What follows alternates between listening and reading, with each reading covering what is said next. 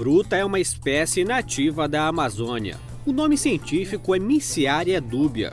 O camu-camu é considerado o fruto mais rico em vitamina C do mundo, 30 vezes mais que a laranja.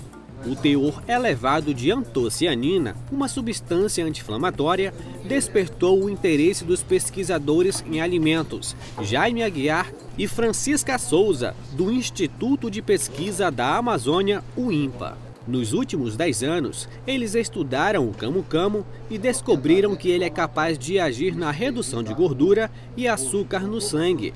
A pesquisa originou a cápsula do camu-camu. O estudo envolveu grupos que receberam cápsulas de camu-camu em pó, registrando aumento nos níveis séricos de ácido ascórbico e queda significativa nos valores de glicemia, colesterol total e também do LDL, colesterol prejudicial à saúde.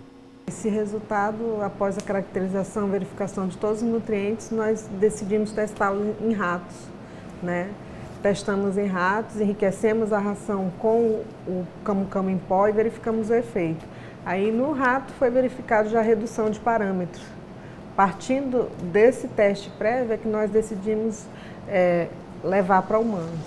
Para chegar a este produto, foram precisos cinco etapas de transformação do camu-camu. Quando a gente desidrata o, o camu-camu, a, a, a, vitamina C dele tende a elevar. Então, quer dizer, ele desidratado, ele já chega em torno de 20% de 20 gramas de vitamina C.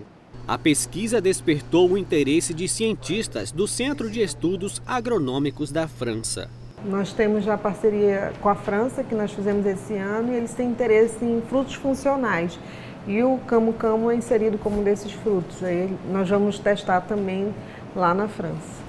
O produto ainda deve ser registrado. Se comercializado no mercado, cada frasco com 80 cápsulas pode custar em torno de 60 reais.